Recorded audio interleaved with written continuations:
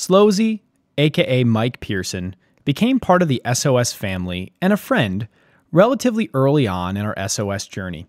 He's a very present person who finds playfulness and fun in even the mundane, latching onto stories big and small to capture the eccentricities, highs, and lows of everyday life. In the beginning, I thought of him as a Philly based indie rock artist, but by now I know that is far too small a box to put him in, as he makes music on love, hard hitting trap music, vibey rock music, and more. He's just a lover of music and an artist that latches on to the feelings and stories that move him. One of his most popular songs, for instance, is called Bedbugs, and it's on insomnia and was based on his lived experience struggling to sleep in a dingy, bug infested college dorm room he once called home.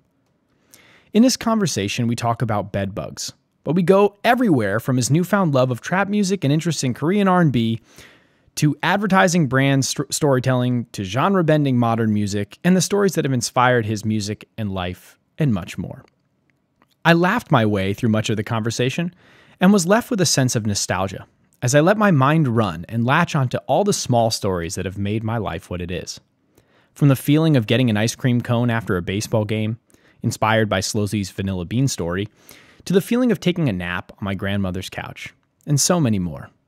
I hope he inspires the same in you. Before we dive in, here's a quick rundown on what's going on at SOS this week. On Instagram, we'll be profiling contemporary indie artists you can't miss. Last week, we also released our top eight meaningful musicians to watch in 2021. That was a lot of fun to put together, so please do check it out. Let us know who's missing, what you think of the artists on it, really anything at all. We'd love to hear your thoughts. Okay, that's it. Let's go. Here's Slowsie.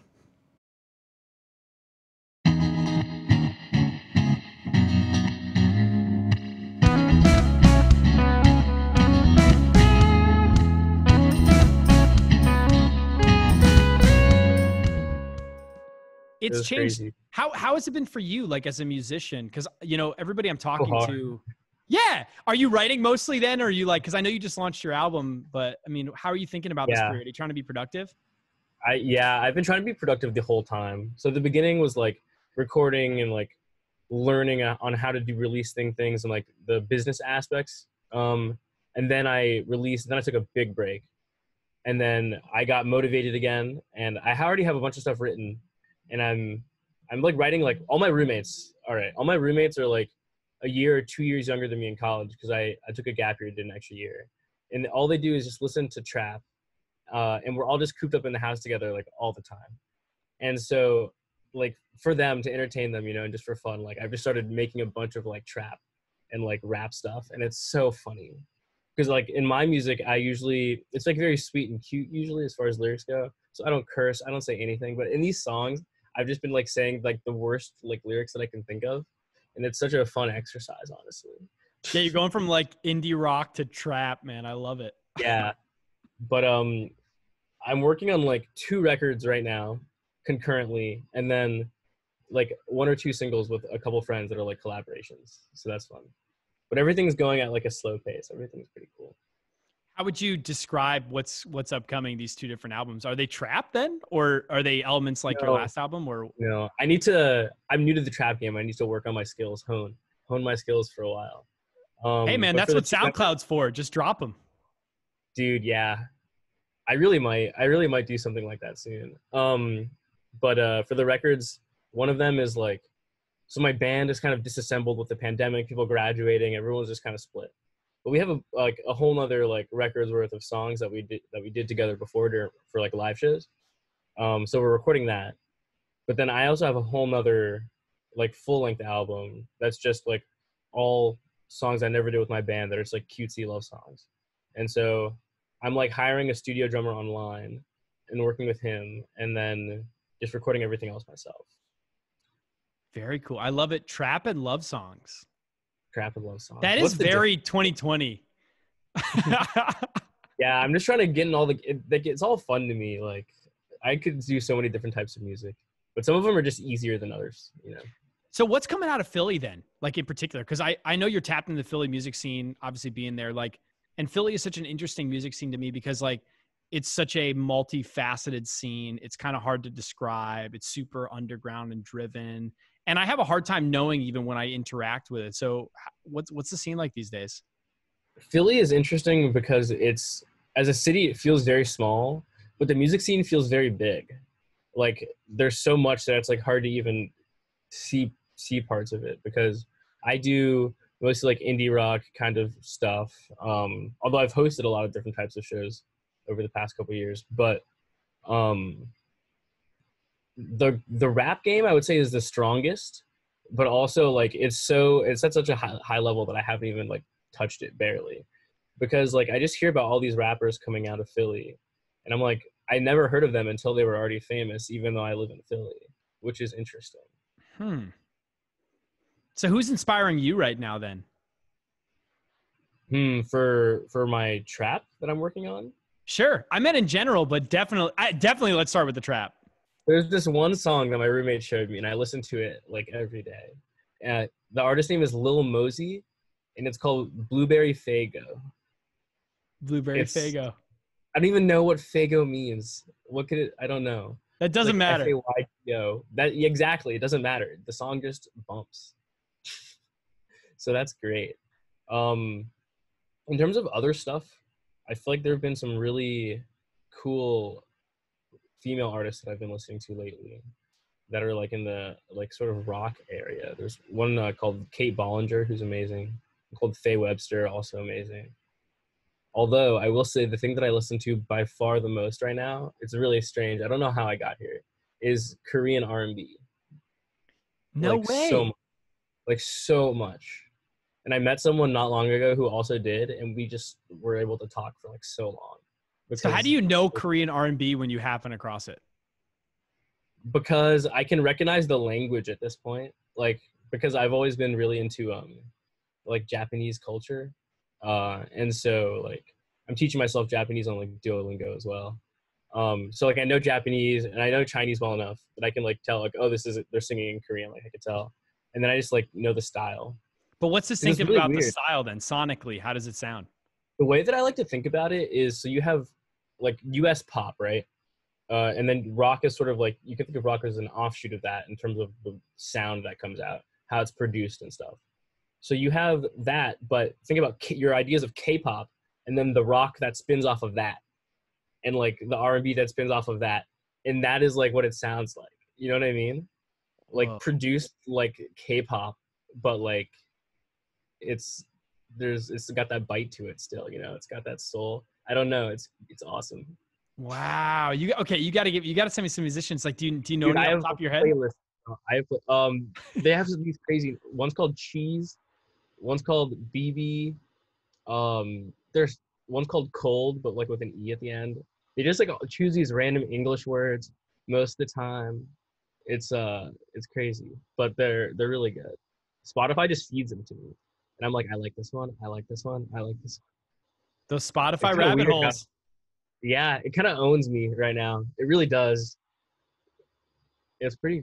I haven't really like gone out of my way to seek new music in a while because it's just being fed to me, which is really interesting and that so yeah i mean the more artists i speak with too and even non-artists that tends to be how it's done i mean even myself it's a lot of spotify playlist driven and then i have a couple things that i follow just to try to find new music in general but it is i mean a lot it of really makes them own the industry in a crazy way because they choose things. you're exposed to which is true of across media right now i mean you go on YouTube, they decide pretty much what you see and what you view. And most people only view the videos that are on their explore list. I mean, or they search it out specifically along a tagline, but eventually that leads to what it feeds you.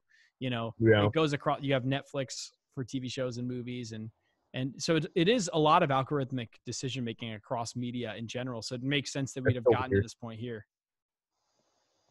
Hmm. How much do you how much do you cultivate your social media? Like what what kind of stuff do you follow? So you look at? I view social media as like different personalities. So like I really feel that this is actually a larger thing that we're going to have to live with as people of the of the 21st century. At least in my view is that we're going to have different parts of us that are personified in different areas of our life. Like they're, and that is best played out on social media, I think, right now, because I have Leland on Instagram, I have Leland on Facebook, I, I have Leland on Snapchat, which is pretty much mm. non existent. And then I've got like Leland on YouTube. So it really is, I have different interests. And Instagram is pretty much my main channel these days. Yeah. But that is curated mostly of hilarious memes and friends. Like, yeah, it really is where I go for entertainment. YouTube is where I go for education. I like a lot of long form content. Same, same for YouTube. I like philosophy. I like music. I like you know politics, and it's it's really like. And then I've I like some leaders in podcasts and things like that. So yeah, that's large there. Facebook is useless to me pretty much. I'm almost never on it, but I use the Messenger app and stuff like that, and will occasionally Same. post big live events. And then Snapchat, I almost never use, but I have it Mm. anyway.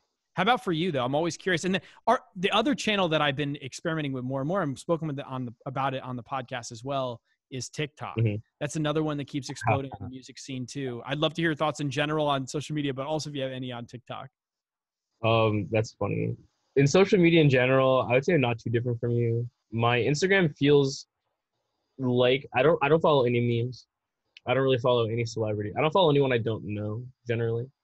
Um, but I'll follow anyone who I've just like met and like you know it was a nice meeting or whatever. Um, and but only like real people that I've like you know.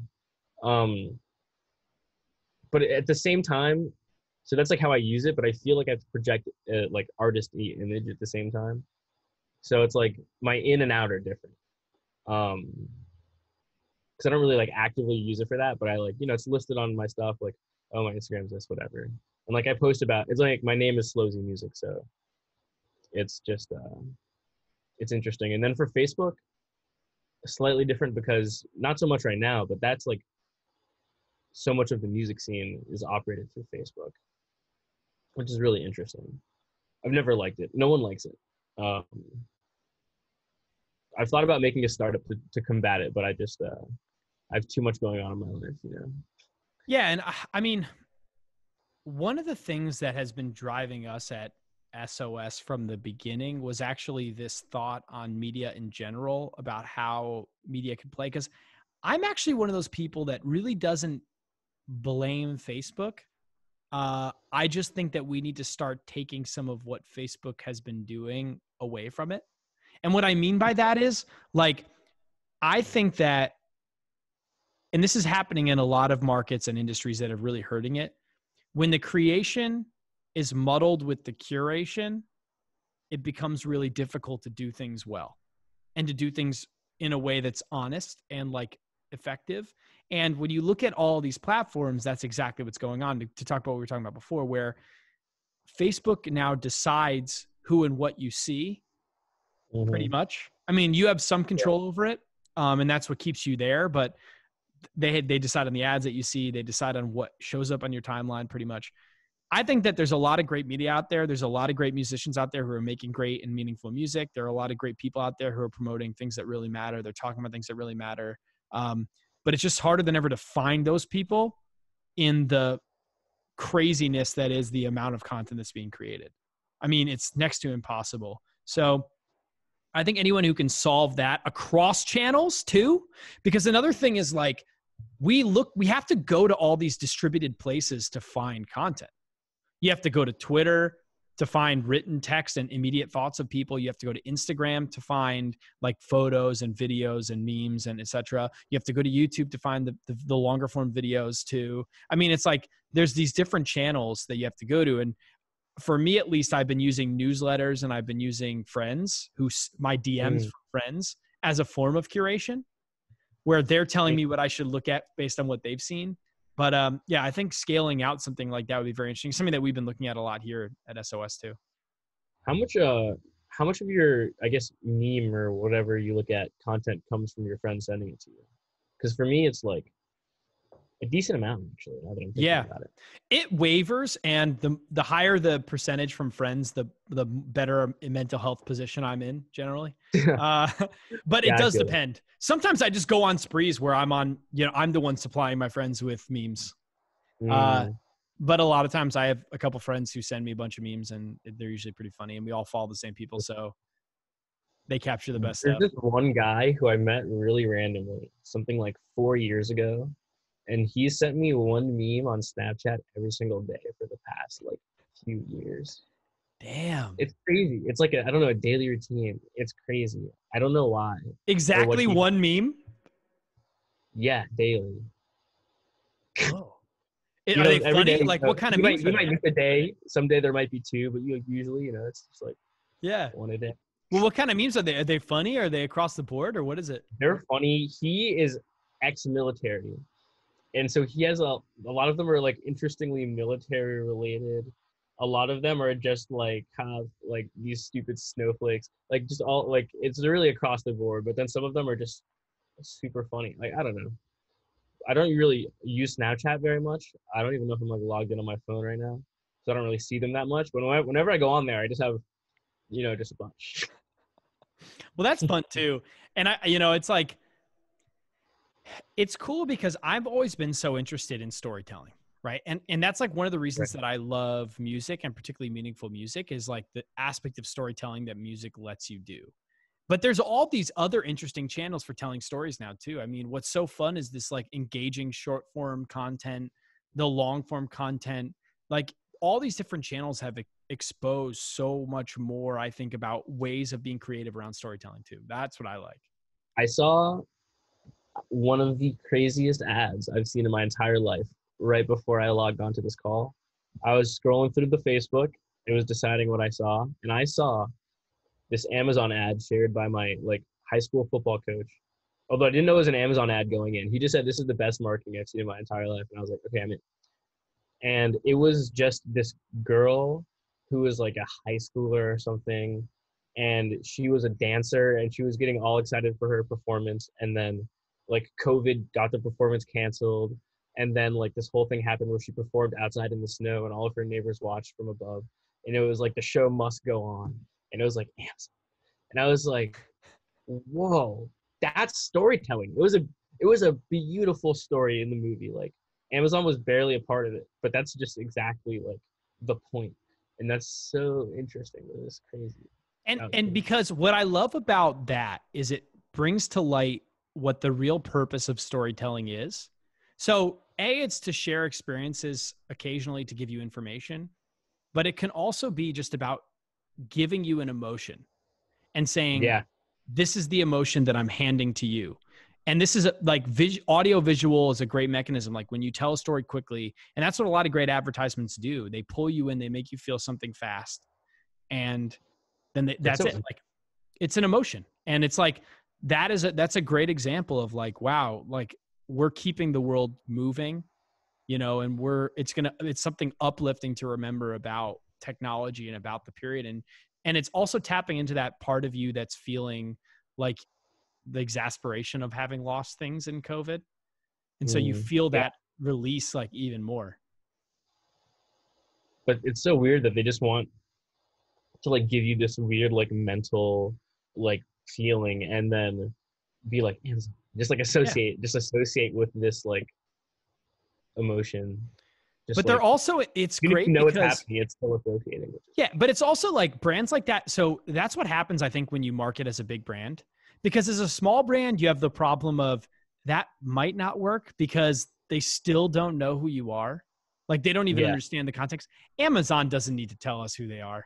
Everybody No. knows who Amazon is. So now it's more about the advertising is not brand identity advertising, like you to understand what they do or go to buy and sell their service.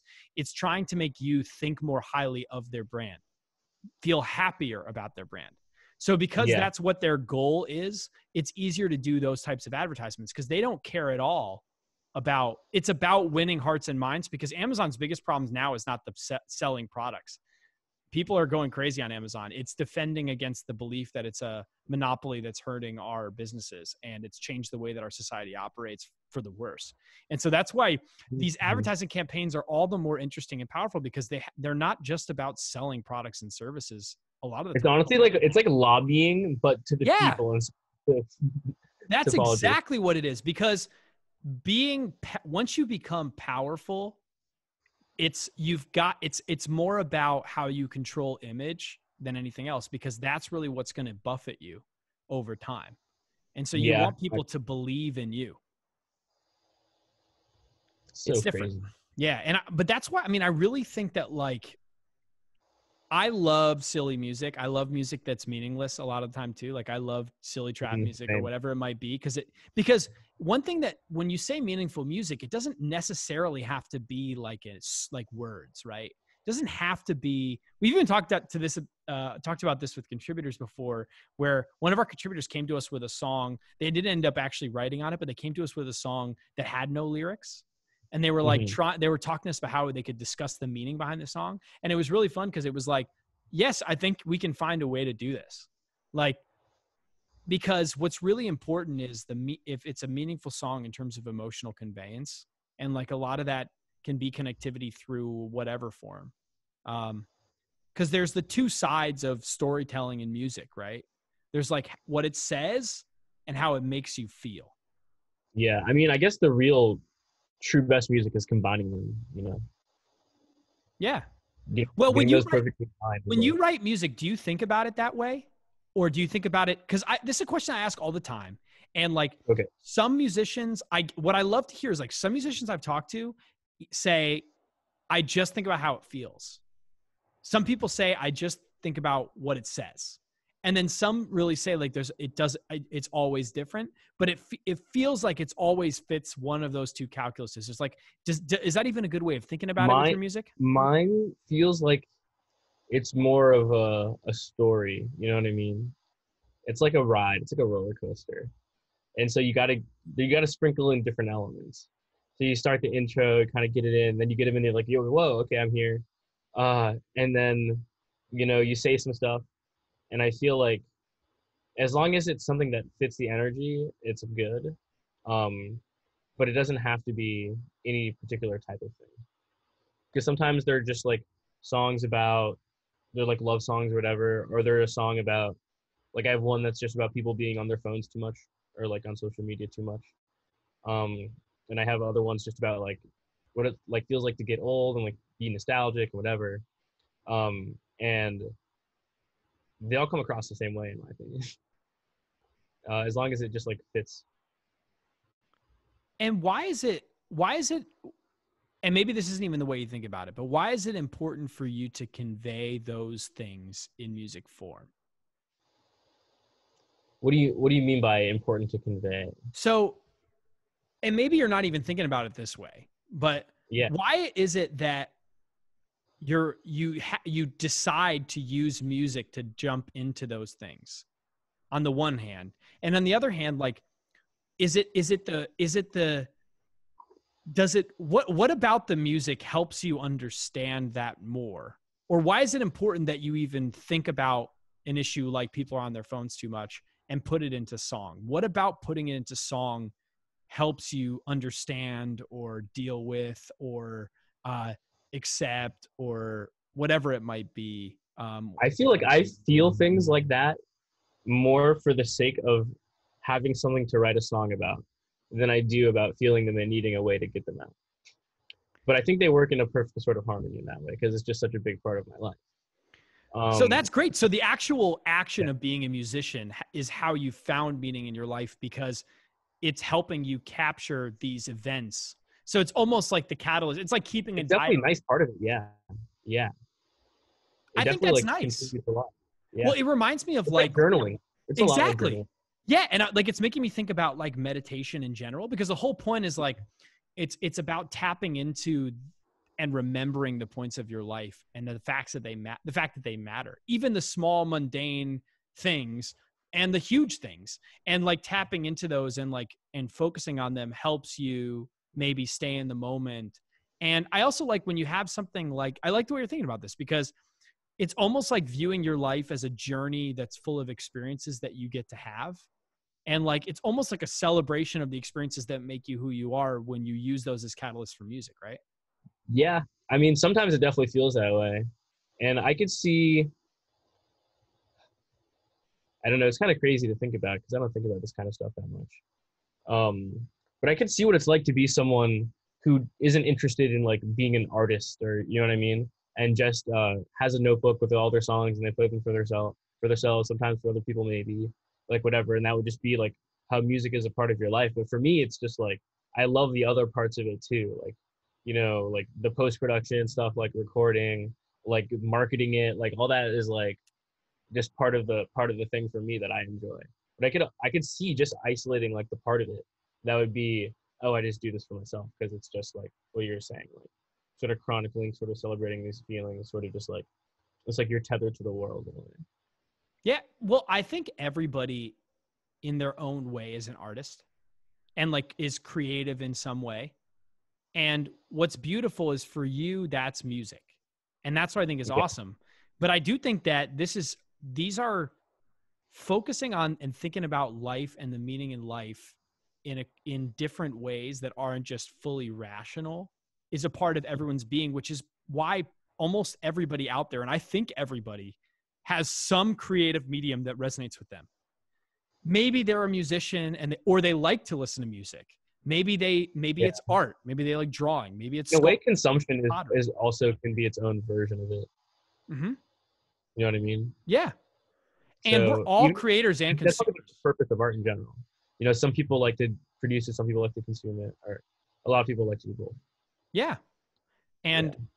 so what about I want to talk about Bed Bugs, the song Bed Bugs, because I love I I like that song, man. I I and I like that it's I like that it's on Insomnia because I like the I like the yeah. fact that it's yeah, I mean, I'd love to hear like what what the inspiration was behind Bed Bugs and why that's meaningful for you. Yeah, well, the whole record is about insomnia, and I, I mean, the reason I did it that way is just because, like we were saying earlier, like how I write songs, I just write about whatever, and so we had a bunch of songs for the band, and I was trying to figure out a sort of like narrative way to divide them, because I thought just like the idea of them all being conceptually related was cool. So I was like, love songs or insomnia songs, and I was like, ah, ah, ah, ah, ah. and I just chose insomnia, and that's like that's how it came to be because I just had both, um, and yeah, so Bedbugs in particular is the oldest one that we ever did as a band, um, which is so great that it was like the most loved one as well in, in that sense. Because every single like time we play, everyone's like, "Ooh, I'm excited to play Bedbugs! Like it's gonna be a good time." Um, but in terms of like writing it, I was uh I was living in my fraternity house my sophomore year. Uh, and like there's nine rooms in the house. Eight of them are on the second floor. There's one in the basement. That's my room. It's the biggest room. It has its own bathroom. Everyone else shares bathrooms. I have my own. But I'm in the basement. There's not a lot of light. One, which is a, is not great, and two, there's lots of bugs. Uh, there's lots of roaches. There's like those centipede thingies, which we don't have those in California. I don't know what's up with those. Um, and when I first moved in there, I guess like I already had problems sleeping before that, which is why I have the other songs. But there were like spiders like all over the place, and they bit me all the time. Like I and I literally just like could not sleep, and I was like, like spot. I didn't mention it in the song. Like it's not in the lyrics at all, but that's like where like the name came from. Oh my god, it's like an ode to your basement bedroom in college. It's great. Yeah, yeah. Jeez, the, man. Uh, yeah, it's pretty funny. Well, but, ha- uh, have you found? So, what I have you found that other people, because you were rather overt, at least in this album, and especially in the song, with it being on Insomnia. Did you find that other people caught on to that? Oh, for sure, definitely. And I've had like one of my favorite parts about it is I'll have friends text me at like 4 a.m. and they're like, like I can't sleep and I'm listening to this song and I just get it. and that's like awesome. that's super fun. Whoa, for real? Like people would actually be like, so so they just message what? me late at night and they're like, and they're like, yes, here, I'm listening, I'm with you, and I'm like, I'm up too. I'm glad you're doing it. See, that's the beauty of it, isn't it? When you can like share that commonality like because that's so cool because that means that your music's resonating not only in like it's like in a personal experience resonation as well as yeah that feels great like it's honestly the, the, things you can see on spotify are crazy in terms of like demographics, who's listening where, and stuff like this. And I mean, someone just like randomly like, you know, like my second highest city is like Singapore or something like, you know, like, like they need like, to sleep better in Singapore, huh? Yeah, I guess so. but um, it's crazy because you can just see like which playlist you're on and like what they're called, and like also who made them. So I just like see the names of like people I know like in this like list of playlists, and I'm like, they put me on there. Like that's so nice. Like I could, you know, that's really cool. Uh, and that feels like you know the whole thing about resonating. Like that that's just an awesome way to see that happen. Uh, yeah, so that was super cool. Amazing. So Bedbugs is on Insomnia. What what other experiences are you capturing in these other albums? Do they have concepts yet? Mm. Um, one of them is kind of just all the ones that we couldn't quite like finish and get out like to do stuff more conceptually because like the band fell apart or is falling apart uh just you know time happening uh and that one is it's like split between a few things a couple of them are love songs a couple of them though are just about like getting old. But so one of them i wrote a while ago which is funny because i was so much younger. Uh and it was just about being in the future and looking back on my life and feeling regretful. And then like taking advantage of that of realizing that now that that's like a possibility i guess. Um and it's such a funny thing because i wrote it like three three years ago and now i'm three years older and i'm looking back on my like younger self and i'm like ah this guy. But i know that like like i'm young now also so that'll that's one of those things where as far as the meaning goes like that'll always be a thing back on me or like, i can like look back on throughout my life. Like i remember when i was like playing this song and feeling this way about like what it meant.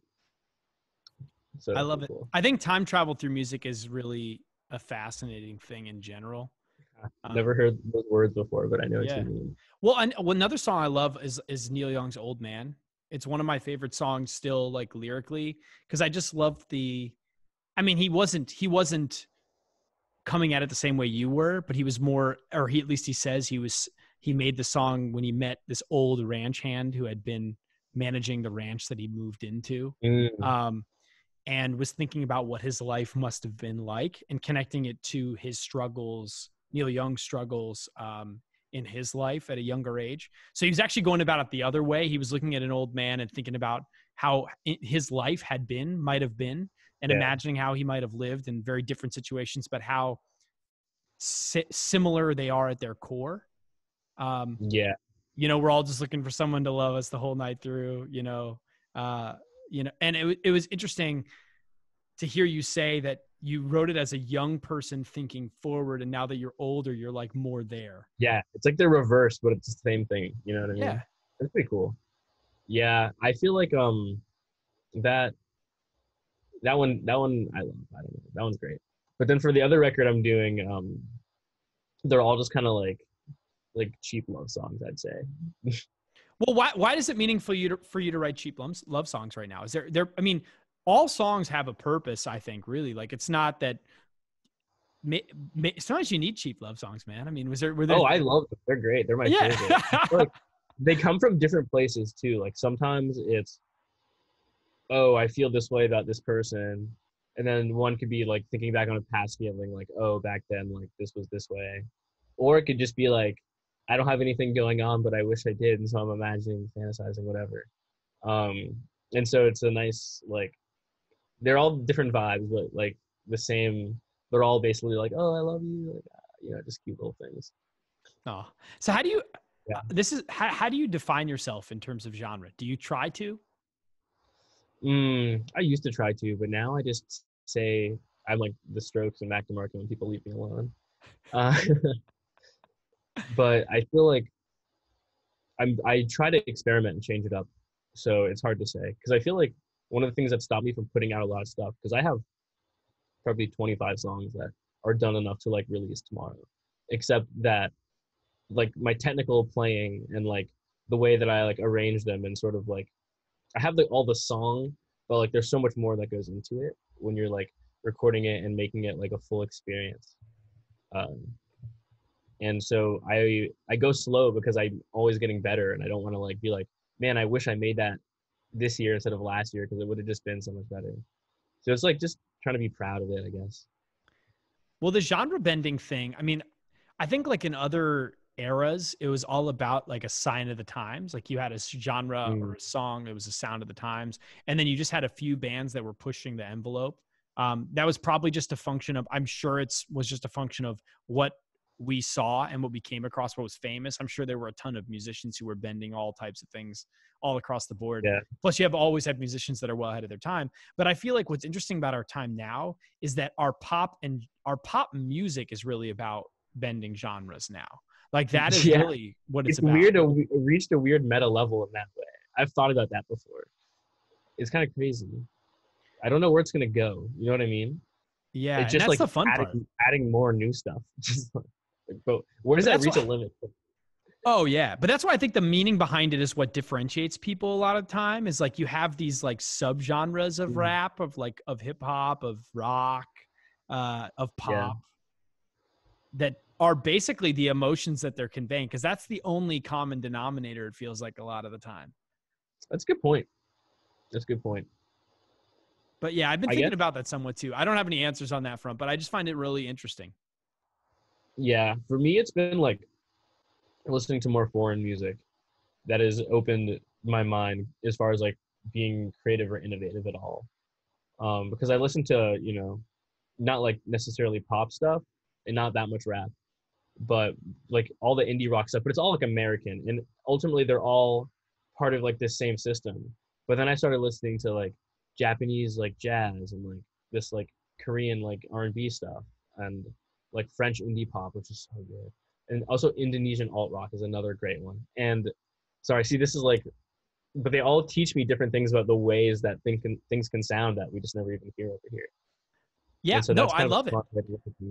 So in season one of the podcast, we hosted um, like a podcast series as part of the China U.S. Music uh, Summit at Berklee School of Music, mm-hmm. and it was so interesting because I was able to interview a couple, um, you know, it was Billy Gao and a couple others that musicians and producers uh, of one was a producer of Chinese pop music, um, and the other was like actually a musician making pop music. And it was so interesting because it's it is fun to think about how much your geography can still play into mu- your music, like and how mm. culture because it's so interesting to me because culture clearly plays a role in like defining each of us and it shows up in our music as a function of that but it's so hard to pinpoint sometimes what makes music from a pl- specific place or what mm. about it made it really from this place other than the identity of the person writing it or making it or the language but yeah.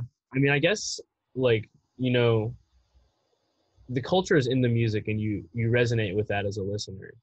And ultimately if you're the person making it it would make sense if you came from the same place where those people resonate with it you know what i mean because there's just something about being from there that just like creates an identity that's just like inherent. But where's that come from is an interesting question. Just yeah. like the lived experience of all of them in this place, doing yeah. this, living this lifestyle. I guess there's so many factors in people's lives. Exactly. And then there's also because it's interesting because I think it comes from the cultural perspective in terms of the meaning that's delivered. What, i.e., what emotions resonate with you. Like if you're going through a hard time uh, in, in a geographic area, might be going through a hard time, so they might be feeling mm-hmm. specific emotions that might resonate on a pop level. But also in terms of tonality, like the languages that you grew up hearing, uh, especially mm. if you come from Asia, which has a much more fantastically tonal uh, style to it than us, us Americans. The, yeah. the way that they listen to music, like the things that they hear can be radically different in ways that we'll never understand because it's not like we can ever hear it through their ears. But it yeah. is so interesting to see that play out and and see the ramifications even in sub areas of different places as well. Yeah. What do you mean by sub areas? Just like smaller communities? Yeah, like the small communities. I mean, even you know, in the conversation I was having you know, they were basically saying they could, in the same way that we could connect music to different places, like in, in different states or even cities like Philly, uh, mm-hmm. they can do the same in China. But it is, and uh, which is ob- a rather obvious thing to say, but it shows sort of the commonalities between like just the way that you create music across ge- geographies and cultures. It's all very different expressions of similar phenomena, which is that you know every place is subtly different. What resonates with people is subtly different on multiple levels. And then what's popular in one area might also there might be people in that area who don't care about it too but it's just interesting that that that, that plays a role i think in what's being produced what's being heard and what's being felt now i think technology and like the distribution of music like spotify and other things has really helped because now we have all this stuff at our fingertips to explore more and more with multiple genres and cultures which is in part why i think we're seeing such genre bending in like across the board yeah lil nas x. Oh yeah. Well i also love it too. okay so how do you feel great. yeah how do you feel then? And, and I, I can already feel you're going because you're like this yourself but how do you feel about yeah. artists who've just continuously switching up their music? I mean because what's interesting is when you have someone like who feels like they're getting thrown into a box and they reject it because of their fame how, what do yeah. you think on that? I feel like that's a personal choice uh, at the end of the day. Because like for me i wouldn't mind being in a box I wouldn't it wouldn't stop me from doing other things.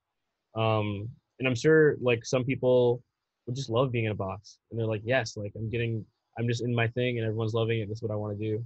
And like, you know, it could be different for anybody. I think ultimately it's weighing priorities of like, am I trying to make money? Am I trying to make people love me? Or am I just trying to like express myself and do whatever? And I feel like everyone has their own balance.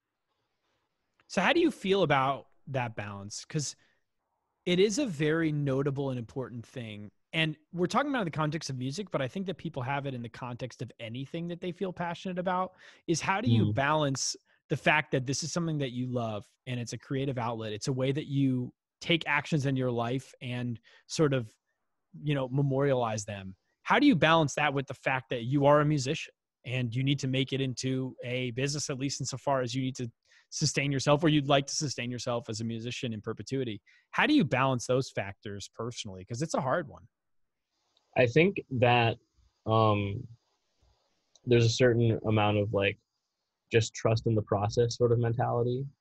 Um and i think that ultimately i'd be happier with like a small degree of fame doing what i want to do than like doing something i don't want to do. But i don't even know how i'd end up in a in a position to like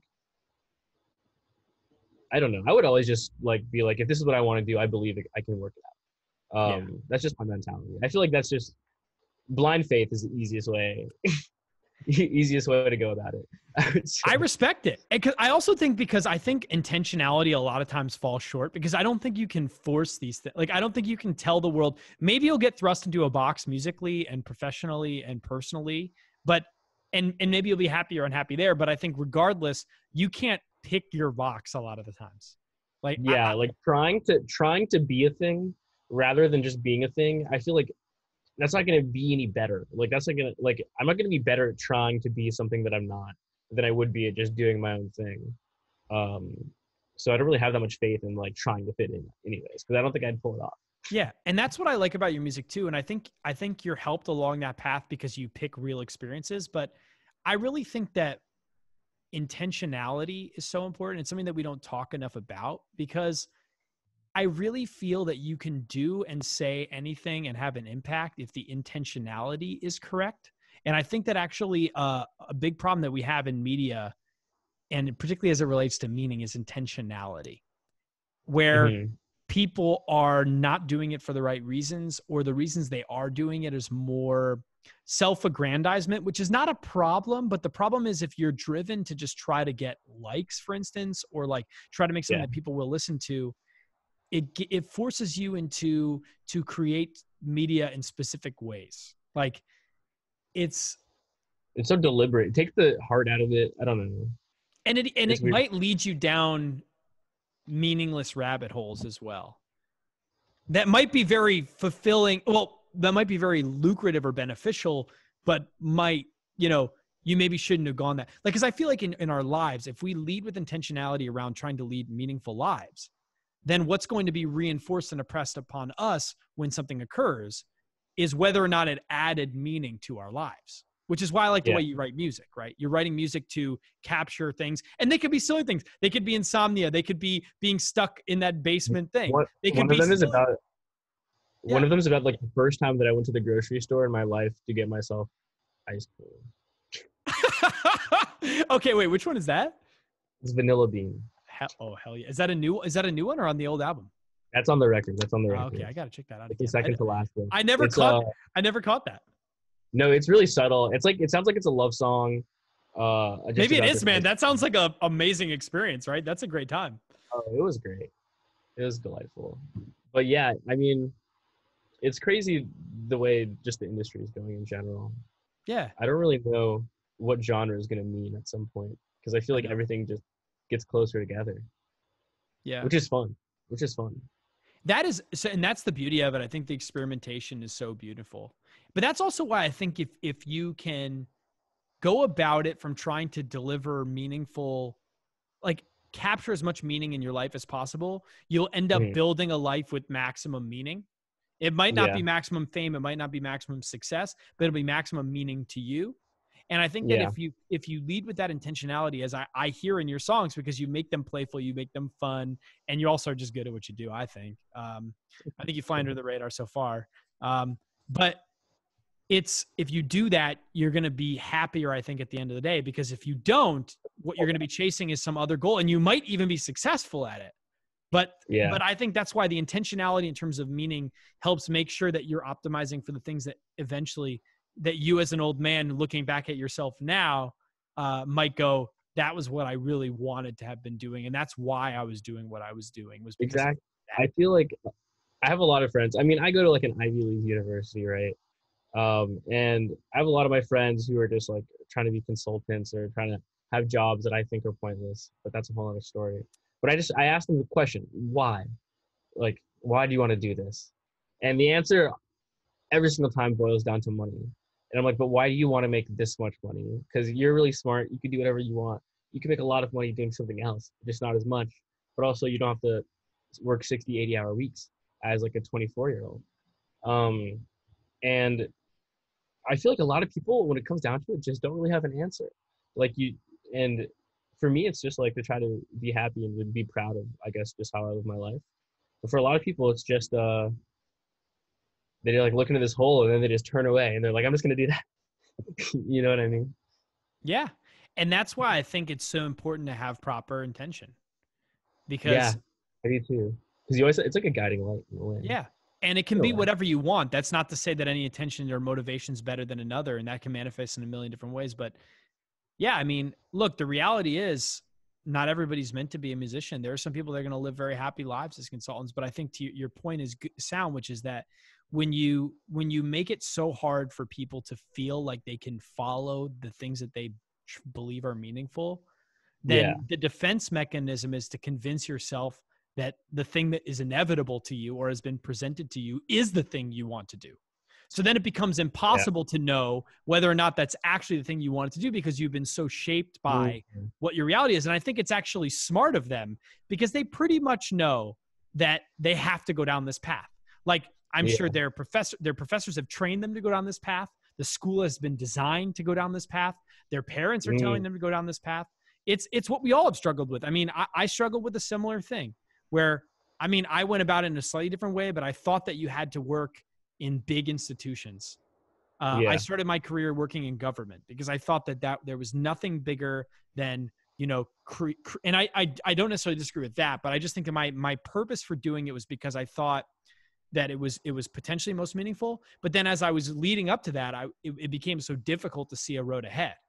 Um, Mm, and even when I started paving one, it became very appetizing as things got difficult to try to convince myself I wanted to, I, I should be a consultant or I should be a salesman or whatever it should be. Because those opportunities presented themselves to me. And so I chose to do other things that certainly made me less money. Um, Mhm. uh, and others that paid off even monetarily. But it like, it was about trying to be if you if you try to think in a bigger context and again i'm lucky i guess i have i had enough money behind me in that like i had stable family that would catch me when i fell and i i fell already several times.